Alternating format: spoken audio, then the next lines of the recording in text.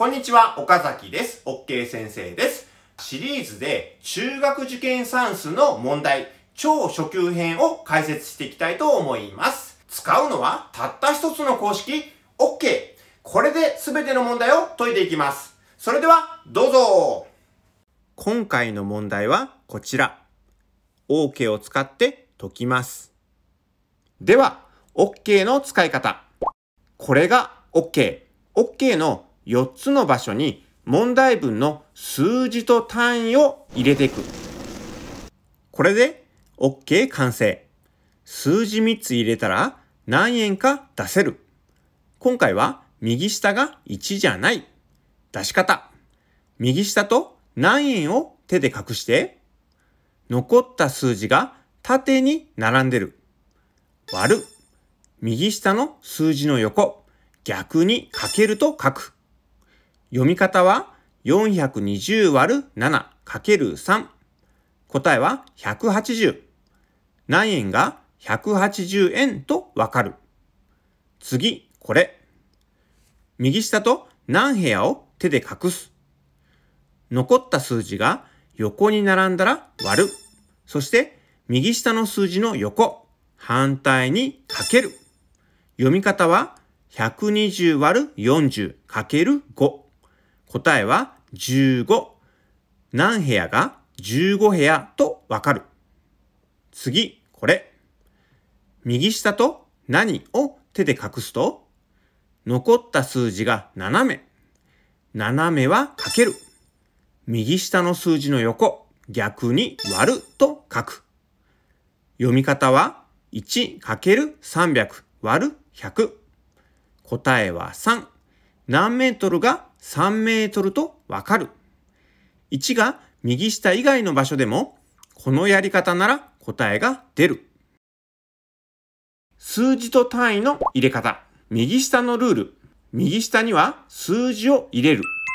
何メートルや何本などは入らない。横のルール。横は単位が同じ。横同士は単位が揃う。縦のルール。縦は一文でつながる。まずこっち。1メートルは100センチです。つながってる。これどう ?1 メートルは300センチじゃない。ダメ。否定文はダメ。つながってない。次、こっち。何メートルは知りたいかどうか。300センチが何メートルか知りたい。知りたいね。つながってる。これどう ?100 センチが何メートルか知りたくない。これダメ。知りたくないからダメ。つまり、この OK が正しい。以上で OK のルール確認終わり。では、問1。2本で 5kg のパイプが 20kg あるとき、パイプは何本ありますか ?OK 書いて問題の数字と単位を入れていく。まず右下。1がないからどの数字でもいい。何本以外なら大丈夫。2本を入れてみよう。ここで横のルール。横は単位が同じ。こっちも本。残った本は何本だけ。こっちは何本。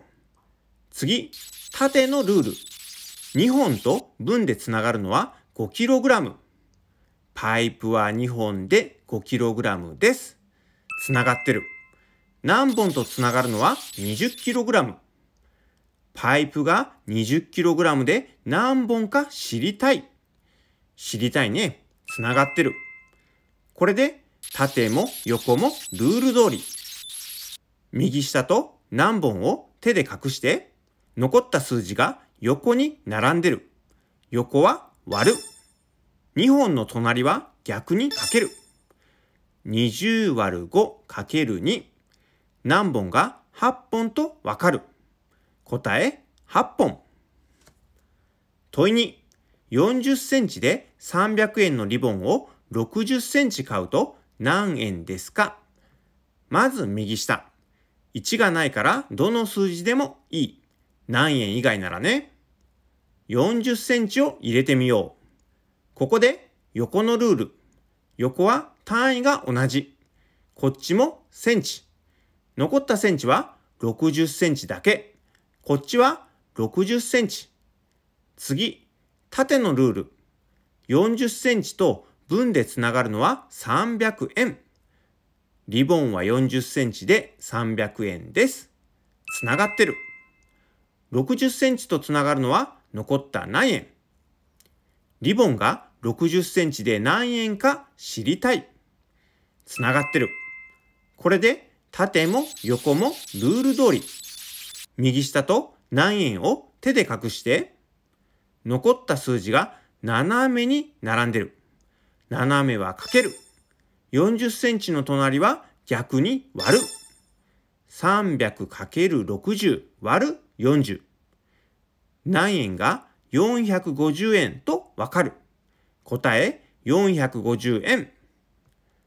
問い3。180g で540円の肉は 100g で何円ですか？まず、右下。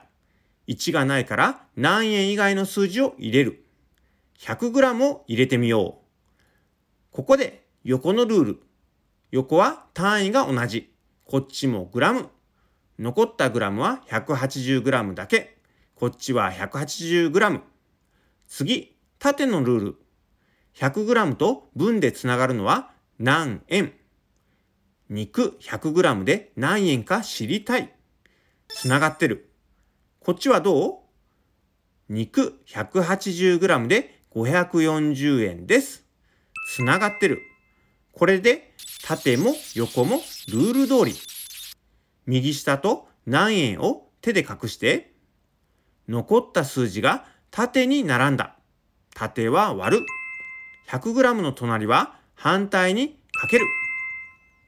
540割る180かける100。何円が300円とわかる。答え300円。はい、これで今回の授業は終わりです。気に入ってくれた人はいいねボタン、チャンネル登録もお願いします。次の授業も下の説明欄から見ることができます。